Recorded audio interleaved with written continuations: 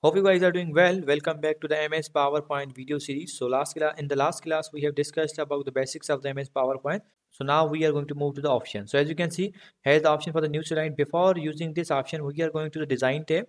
After going to the design tab, so as you can see, here are a lot of designs here. For example, if you want to apply this one, you can also do that. If you want to apply this one, you can also do that. There are a lot of designs are here. You can apply. It's up to your choice. For example, I'm going to click on this and I'm going to choose any other design for example we are going to use this one. So i'm going to click on this. So as you can see the design is applied. If you want to change the color you can change the color from here. Don't worry we will discuss about this tab let's go to the back. So go to the home tab and as you can see here the new slide option. So these are the basically slide layouts. It's up to you that which slide layout you are selecting. And you will also see some layouts here as well. These are the same.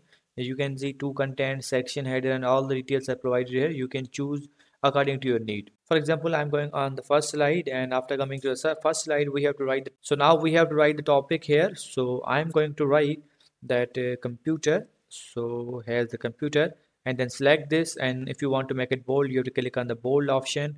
And i'm going to make correct the spelling of the computer right click on it and make it correct. And after that i'm going if you want to make it italic you can click on this. If you want to underline you have to click on this. And if you want to and if you want to give it a shadow you can also give it a shadow to it. And after that i'm going to increase some font size. And we have the reset option if you will click on the reset option the all formatting will be erased and it will be back to normal. So i'm going to click on this. As you can see the whole formatting is removed. So this is the function of reset. And after that if you want to so these are the basic font properties. So i hope all are the aware from this. So i hope you guys understand this video. For today's class it's enough. So about the next option we will discuss in the next class. So see you guys in the next video